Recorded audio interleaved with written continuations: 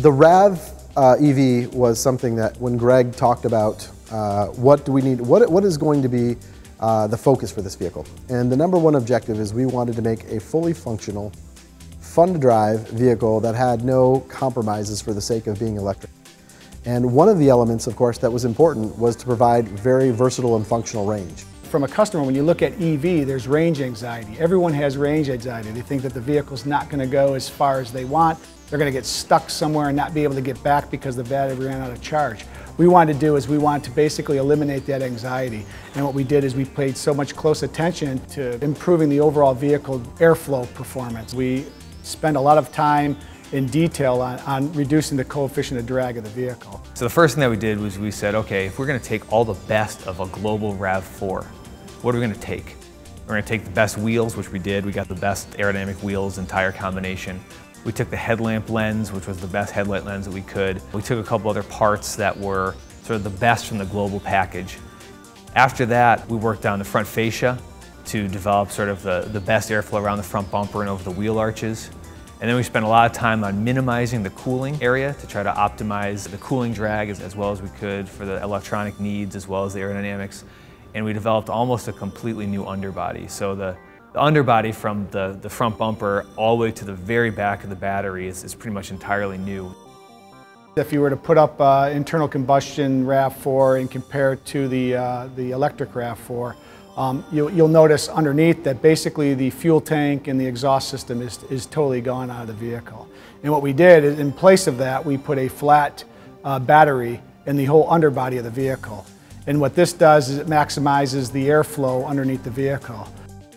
The target for this car was very aggressive. We targeted a .300 CD value, and to get there from the existing platform was actually a lot of work. Uh, we weren't able to change a lot of the upper body style, which is a huge component of the aerodynamic drag. So we were really forced on sort of optimizing all the corners. Consider we're using an existing vehicle, so we wanted to maximize the bumper styling. We looked at the rolling resistance coefficient. We wanted to make sure that we minimized that friction of the tire to the road. Also spats, those are things that you put underneath the vehicle to direct the airflow around the tires to improve the, uh, the, the drag of the vehicle. We wanted to maximize the headlamps and the rear spoiler. The spoiler is one of the biggest single items on the vehicle as far as reducing the drag as a point value for a single component.